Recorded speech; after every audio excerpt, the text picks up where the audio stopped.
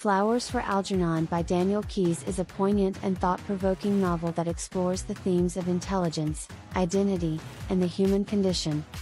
Through a series of progress reports, the story follows Charlie Gordon, a mentally disabled man, as he undergoes an experimental surgical procedure that promises to increase his intelligence. The novel is presented in the form of Charlie's diary entries, providing an intimate and personal account of his transformation. Initially, Charlie has an IQ of around 68 and works as a janitor at a bakery.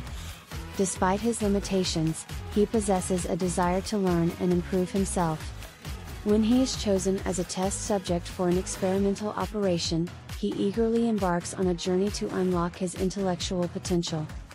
As Charlie's intelligence begins to rapidly increase, he experiences a newfound understanding of the world and a thirst for knowledge.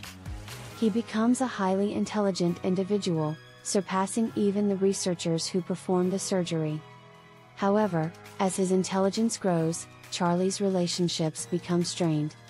He becomes aware of the mistreatment he endured in the past and grapples with feelings of isolation and alienation from those around him. Throughout the novel, Charlie's journey is paralleled with that of Algernon, a laboratory mouse who had undergone the same experimental procedure and initially demonstrated remarkable intelligence. As Algernon's mental abilities decline, Charlie realizes that his own intelligence may be temporary as well.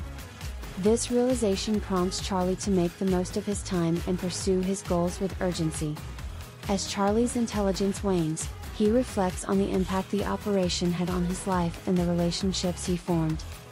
He confronts his past and gains a deeper understanding of himself and others.